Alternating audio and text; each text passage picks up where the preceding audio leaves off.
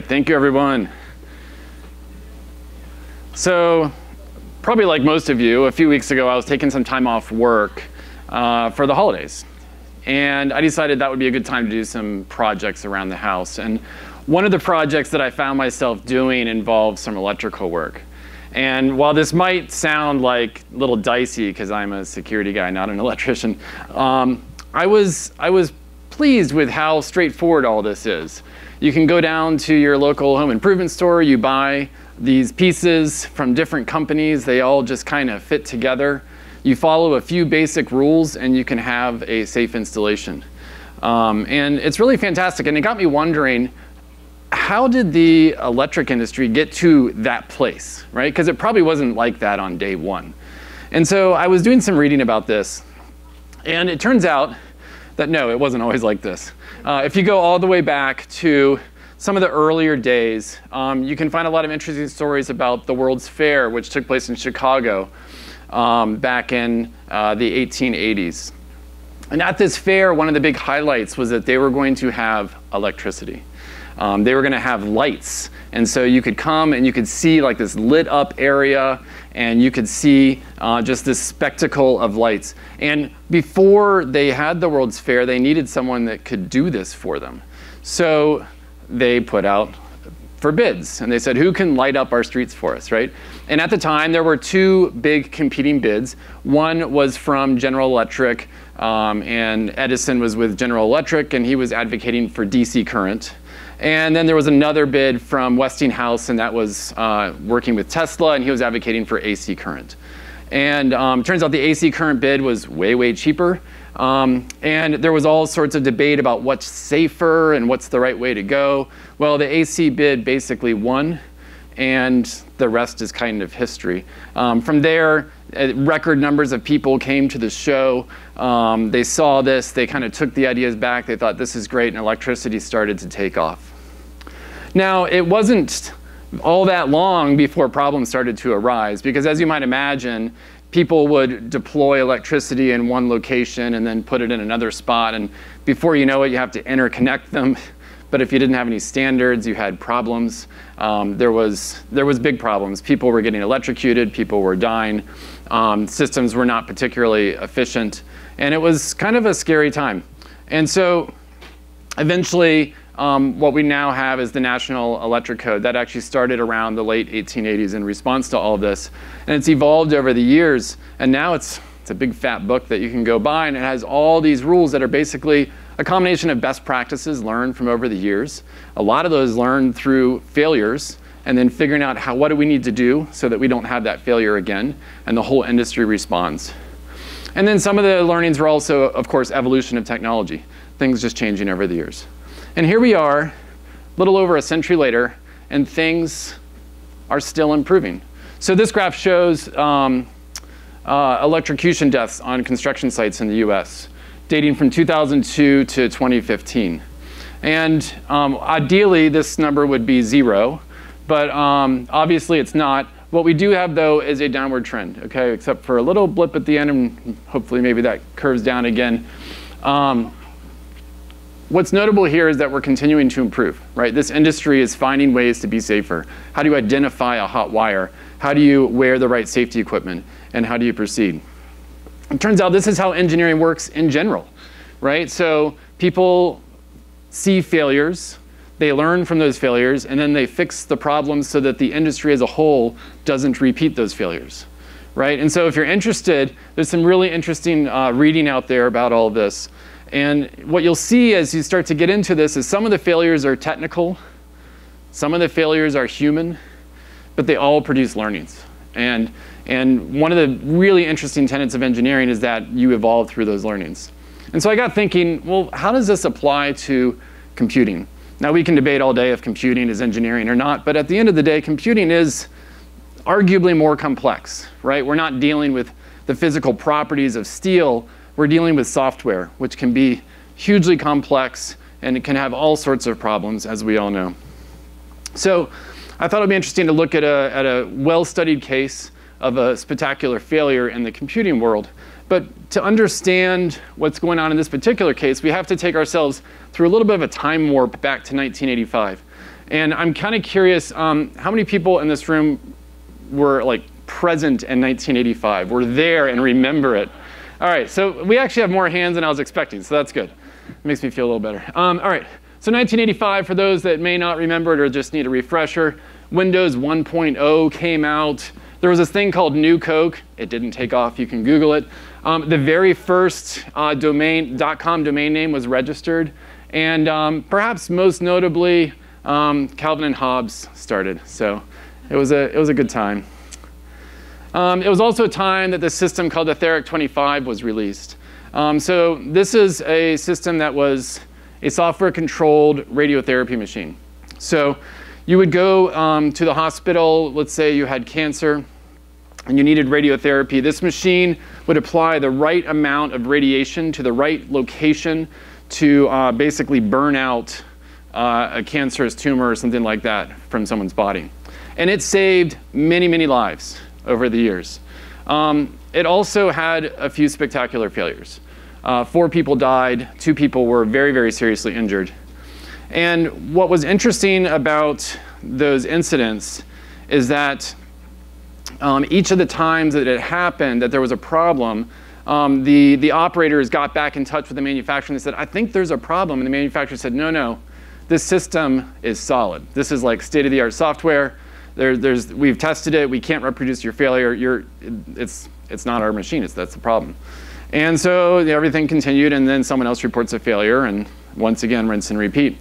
Um, ultimately, what was new about this machine is it was the first time that it was software controlled, but there weren't any hardware interlocks to actually provide safeguards for what the software did, or in some cases didn't do. So before this, if the software messed up and tried to maybe turn the, the radiation beam in the wrong direction or put out too much energy, the hardware interlocks would blow a fuse and the whole system would just stop working and no one would get hurt. But they decided that it was worth taking those out because it was extra money and it wasn't necessary because the software was tested and it was all correct. All right, well this system, to give you a little more flavor, um, it was programmed on a PDP-11. Um, it was programmed in assembly. Um, it was actually a relatively complex system. And so uh, if you go and start reading some of these case studies, a lot of people will pull out the fact that it was done in assembly as eh, maybe that was one of the learnings, that maybe you shouldn't do a super complex system in assembly. I, I, there's some interesting debates as to whether or not that's the case. Um, I kind of fall on the side that, that, yeah, I think that's probably true. You shouldn't do that. Um, but there were all sorts of problems. It wasn't just the assembly.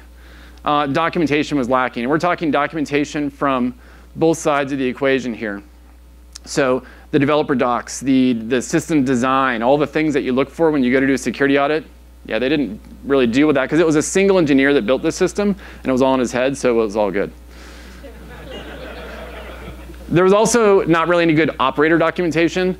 Uh, so people that used the system would get errors popping up all the time, and they just, you know, error 25, I don't know what that is, click through, right? Uh, we've been there, we've seen that happen today.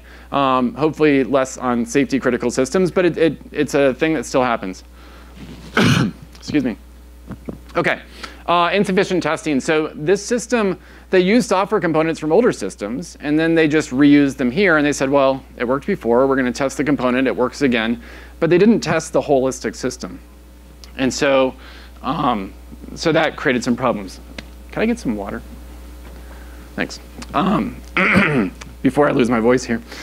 Uh, let's see, we talked about the error messages, the, um, the fault tolerance and redundancy, and the systemic failures. So while I wait for some water here, there was a lot of learnings. I'll let you check this out real quick, and then I'll come right back. okay. All right, they're getting my water. I'll, I'll talk the best I can in the interim. I apologize. All right, so what did we learn? Oh, thank you so much. The poisoned water.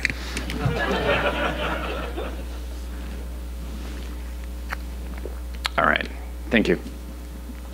Ah, good. Water from all angles. Um, all right, so um, lots of learnings. Um, obviously, it's good to test things. Um, you know, software quality assurance must be designed from the beginning of the system. I mean, does this sound new? Is this stuff that like, yeah. Um, do we still see these problems today? That's the interesting thing. So a couple years ago, someone wrote a really interesting retrospective on this. It said 30 years later, how has the industry evolved? Are, are, are we doing things better? the long and the short of it was, um, no, we haven't really done all that much better.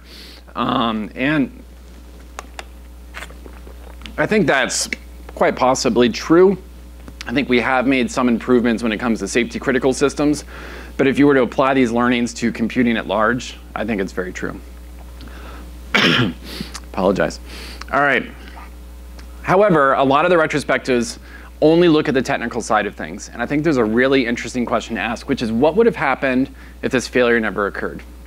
That gets you, that gets you much broader, right? How did, how did the world change because of this? And one interesting thing that happened is a new law passed around 1990 that require, or basically allowed the FBA, um, FDA to collect information about failures in medical devices. and it was required reporting. So before that, um, these, these failures would happen and people wouldn't report them. And, um, and of course, you could never do a recall. It also gave the FDA the authority to issue a mandatory recall on these devices. All right, so while the software industry may have continued to build systems in the same old way, we now had policy that would ideally help us out a little bit. And I apologize, my voice is not, not sticking with us. all right, so let's turn the lens on security for a moment. That's what we're all here for today. Um, surely in the security industry, we do this really well, right? We, we evolve, we learn from our failures. Few people are kind of smiling and laughing, so stay tuned. There are some good stories at the end here. Um, okay, so I think where I'd like to start with security is to take us all the way back into the 70s. Bear with me for a moment. We'll kind of fast forward relatively quickly. But back in the 70s, a lot of the security work was happening through the uh, US government and really the military. And what they were interested in doing is building a multi-level secure system. So think a system where you can have top secret information and secret information on the same computer and have confidence that it's, it's going to work out okay in the end. So there was a big interest in this. However, there's a report that was written saying, actually, that's probably not feasible to accomplish.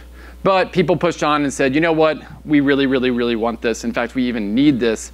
And so we're going to try to make this happen. At first, the way that we tried to make it happen was by um, giving design specs to private industry and saying, can you build this system to spec under contract, and then we'll have ourselves a secure system. And that didn't always work.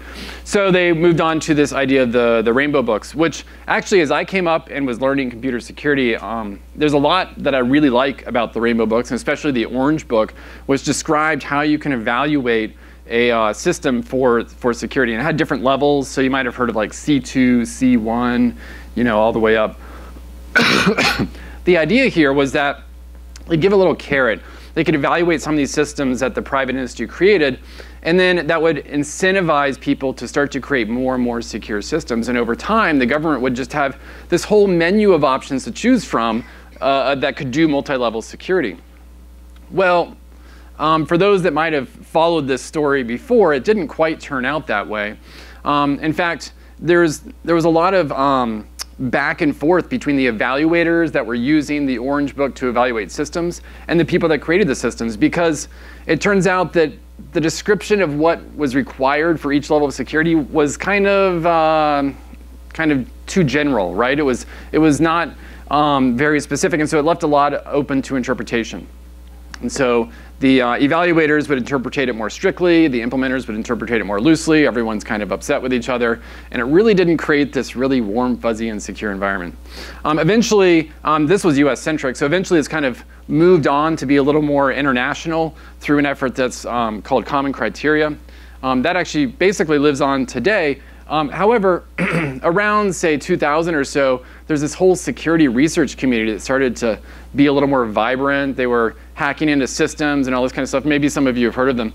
Um, so what happened was people started hacking into these kinds of systems and realized that the ones that were evaluated to very top levels weren't actually all that more secure than all the rest of the systems out there. And so it had a lot of people scratching their heads, well, we're doing all this work. what's the value?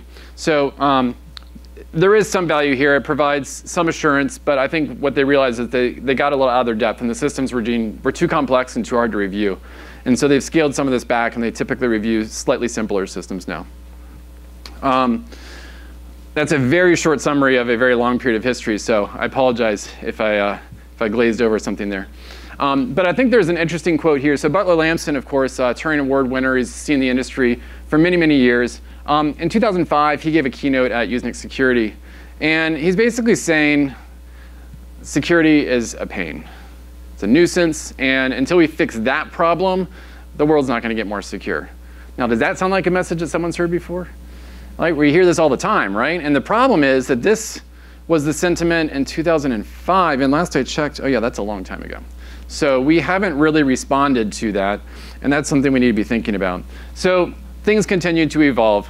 Um, if you look at the security threats, we, we go from a world where back in 2002, Microsoft had their big security push to kind of revamp the whole company and get better in security. Um, we see things like spear phishing attacks starting to happen in the late knots. We see things like Stuxnet and Google being attacked through uh, the Aurora, uh, Project Aurora stuff um, in about 2010.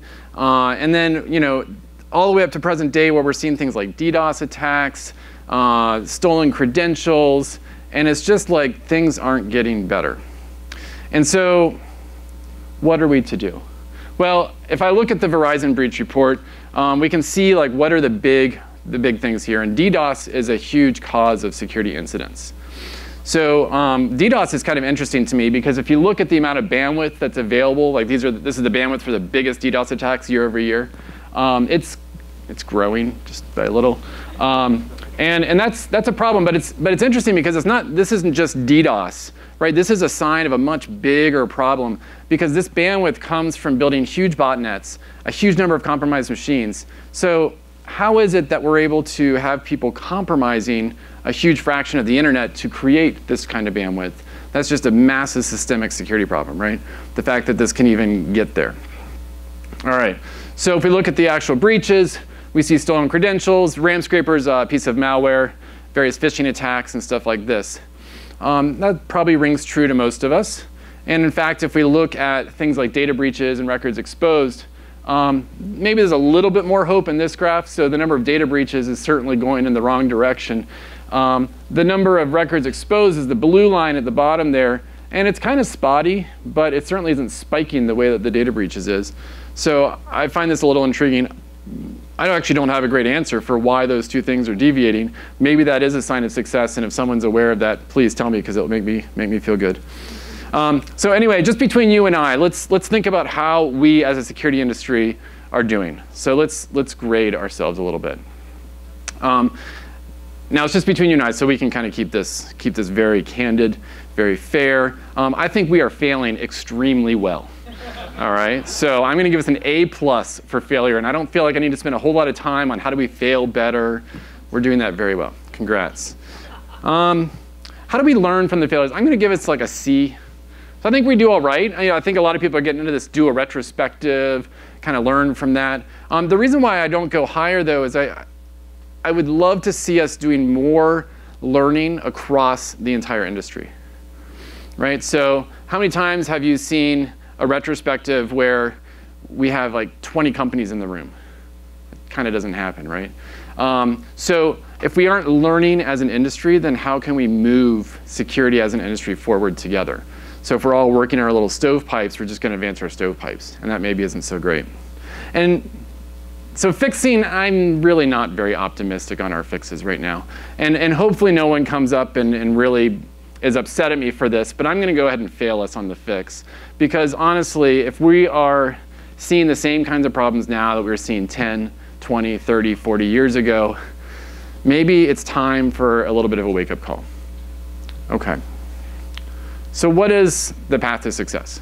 Um, I can't just come up here and give us an F and then walk off the stage. that would be mad.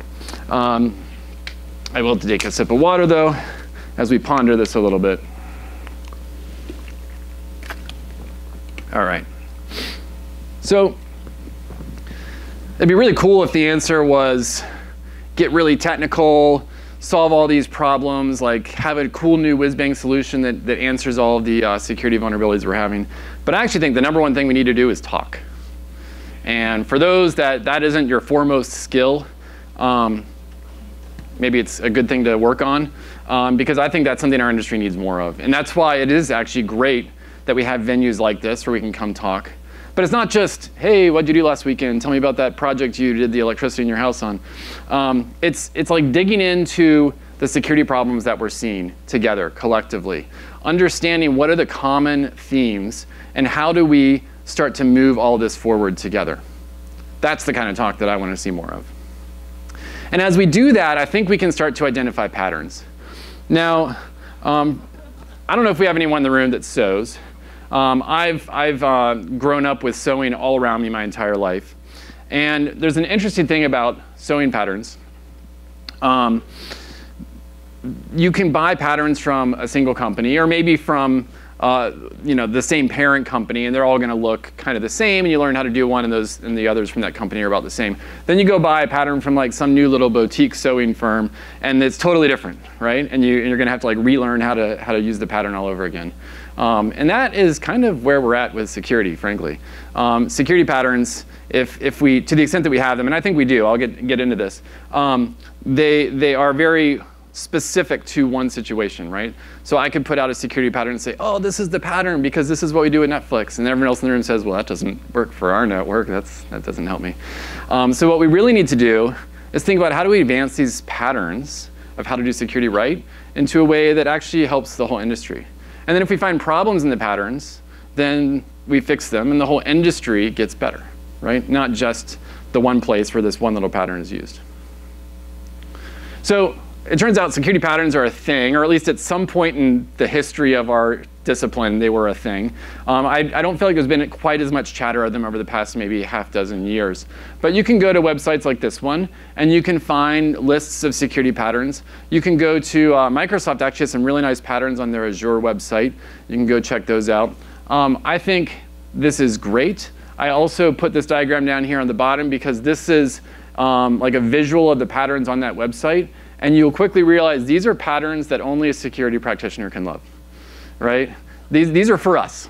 And that's okay, but if we want to actually improve the security of the world, then we need to take an additional step and say, how do we take these patterns and package them up in a way that's easy for the rest of the world to use? Okay, because software engineers that we're working with, they have enough on their minds. If we provide them this complex puzzle and hope that maybe they assemble it correctly, we're probably not actually solving the problem. And what do I mean by easy? Well, a lot of people will say things like, you know, can you just put TLS on that endpoint? It will be really, really better. And um, maybe you're right. Maybe TLS is what's needed for a particular setup. Um, and, in, and then I've even heard people go so far as to say, yeah, you just you throw a cert and a key on there and you're, you're good. Okay, well, what is actually involved in doing that? Um, particularly, maybe you're at a startup and, you don't have all these established infrastructures. Well, all of a sudden, it's not just throwing a certain key on there. You have to say, well, what's the PKI look like? Where's the certificate authority live? How do I protect those keys? Do I have to have some sort of backup regime? What's the security situation for that? Oh, and by the way, how do I even configure the TLS setup in the first place? So I've got all of these questions that I have to ask before I can end up with a reasonable answer. So it's not just put TLS on there. It's like bring an expert in the room to turn on this thing that's been around for decades that should solve your problem. But that's kind of a sorry state of affairs. So one of the things that we've done at Netflix to help simplify things a little bit is we said, you know what, we don't want everyone at the company to have to deal with all of this. Instead, just do that. So there's a configuration file. You can set one parameter in it all of that happens correctly for you. And not only that, you also get authentication and some other fun things. And you're, and you're like kind of future-proofed because if you uh, redeploy your software in the future and, all, and we decided, oh, you shouldn't be using TLS 1.0 anymore, you should really be on 1.3, all of that can just evolve automatically. That's winning. But that's winning for a part of the ecosystem, right? We have to remember, think back to like the Therac 25 situation. You can't just evaluate one narrow chunk and say we're good you got to look at the whole system. And as you step back, you're going to see different things. So to put it all together, um, if I were to kind of highlight what we need to do better for failing, it's nothing at all. We're failing just great. So if I highlight what we need to do better for learning, um, we need to talk. Okay, we need to align on how we're thinking about our systems so that we have something common that we can talk about. Right? Am I, if I'm talking about how to do authentication to someone at another company, hopefully we're doing it close enough that we can learn from each other and evolve those things together. We need to share our lessons, find the trends, and ultimately connect all those to the risk and impact that they have so we're actually spending our time on the right things. And finally, for fixing better, um, we need to think about patterns. We need to think about how does all this come together in a usable way so that the industry can use our things and advance together and ultimately start to get rid of these problems that have been plaguing us for a very long time. All right. So as I put together this talk, I, I realized that if I had ended it right there, it might be a little bit of a downer because I'm kind of beating us up. And sometimes that's what's needed, but I thought it would be useful to at least pull out a few stories of, of some places that I think are doing this right. And so this isn't like an endorsement from me or an endorsement from Netflix or anything like that. This is just places where I think people are working in the right direction. And I'm seeing interesting signs of success. So um, the first one that I'll highlight is uh, SPIFFE. How many people are familiar with the SPIFFE efforts? Okay, not a lot of hands. So go Google it or go to spiffe.io, spelled like that. Um, it's kind of interesting because basically what they're doing is they're saying app to app identity and authentication has gotten very stovepiped at all these different companies. Everyone that they're doing it in the cloud, but they're all doing it their own way. And it means we can't interoperate, we can't evolve the industry forward. So let's find a common way to express identities, find a common way to do the authentication and all of this, and finally move forward on some of these things. Very interesting, there's some reference software. There's um, things like the Envoy proxy, um, which is starting to use this and some other software projects getting, getting involved. So very interesting work. Um, it's kind of early days, but I'm seeing it leaning towards the directions that are what I'm talking about, and I thought it would be worth throwing it out there. So what about something from a little further back? Um, software auto updating. Who remembers web browsers before software auto updating? Right? It was, it was quite the world. And the problem is that in your web browser, a software vulnerability can be a really bad day. Um, and so this was genius. Now these graphs are from a long time ago. We're looking at 2012 to 2013. On the left, we've got Chrome, which had auto updates installed at that point in time. And you can see every new version comes out in this really steep adoption curve. It's like boom, almost instantly everyone's on it, right? And then on the right, you've got Internet Explorer. At that time, did not have auto updates. You see new versions are released and adoption just kind of wanes, right? Why don't we do auto updating across all of our stuff, by the way, right? I mean, we have a lot of software that we don't do this on today. But hey, the win is we do it in some places, which is great. All right, and the final one that I really want to highlight for today is this. If you look at the top million websites out there and you look at how many of them are using HTTPS, we crossed the 50% mark this year, which is super cool. And this didn't just happen, right? This is a combination of, of work from tons of people, like uh, lots of work going on at Google, lots of work going on at Let's Encrypt, lots of work going on um, on sites like the SSL Lab site that helps people configure their sites better and more secure. It's just so many things that came together towards a common goal, and the industry is getting there. And now that we're past 50%, who knows? Maybe we see that curve tick up even faster and, uh, and get, get even higher. So, on that note, um, I would say take this home with you. Let's work on securing the whole system, not just a little slice of it, and let's secure it in a way that works for everyone. And I think the way that we get there is by figuring out how do we fail together, how do we learn together, and ultimately, how do we fix the problems together. Thank you.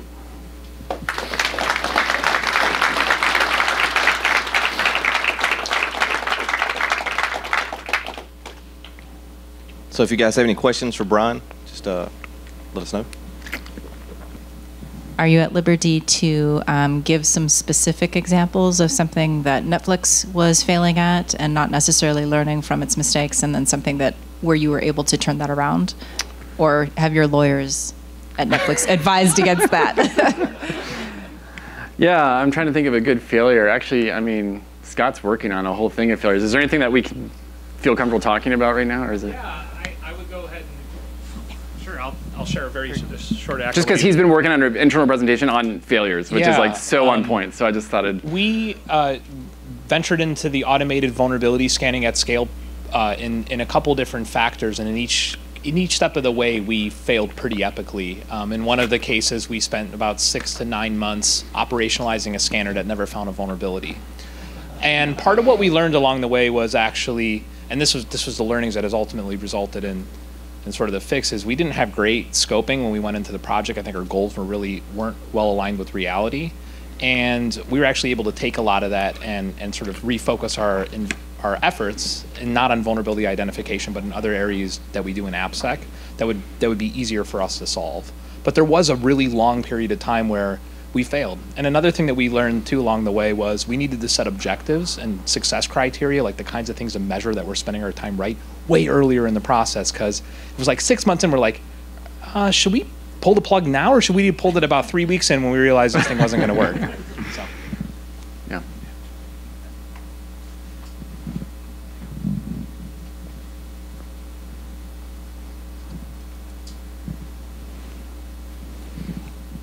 just getting the mic to the right spot here. So thank you for the talk, and uh, thank you for running a team that socializes as much of the knowledge as is produced within Netflix out to the open world as as they can. Um, I can't count how many tools from Netflix um, me and my team use at the firm where I currently work.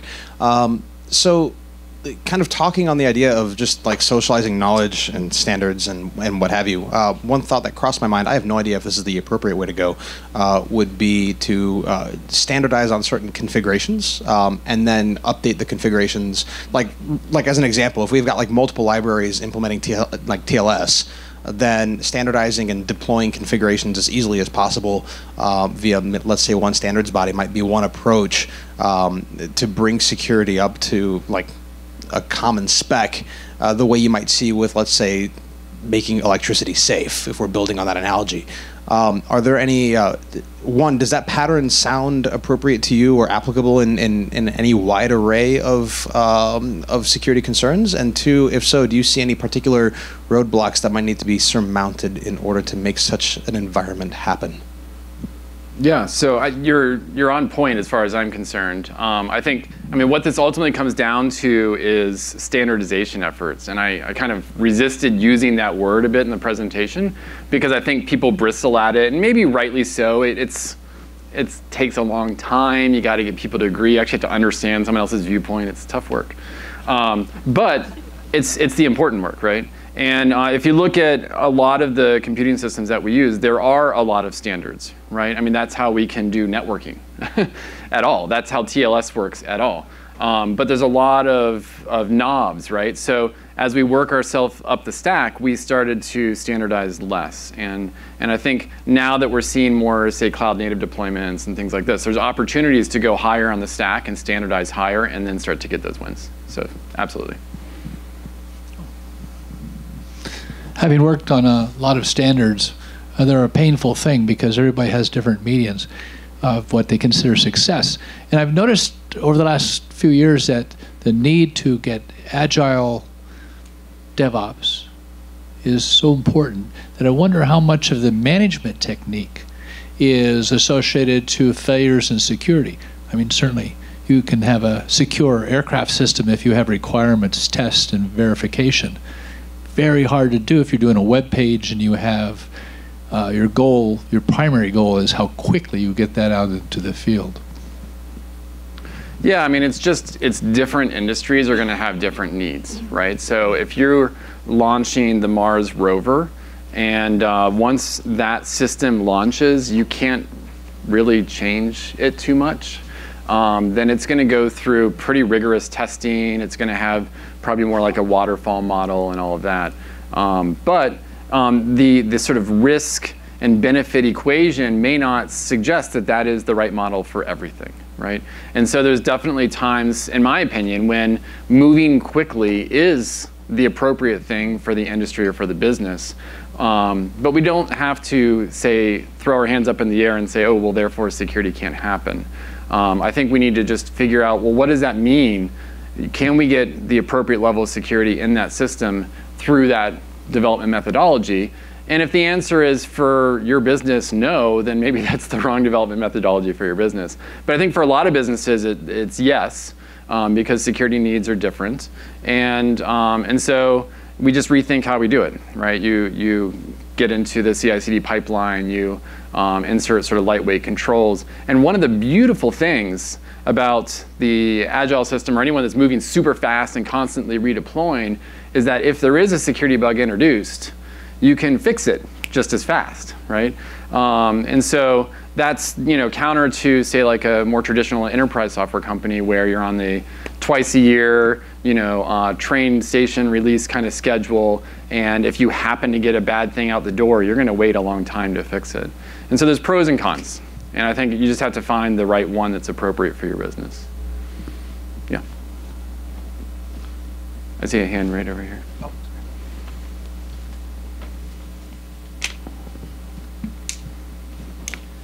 How do you feel about uh, externalized costs, the tragedy of the commons, and how that is an issue with security, IoT, uh, smaller companies, et cetera? Um, can you get, what do you mean by externalized costs, just so I'm on the same page here?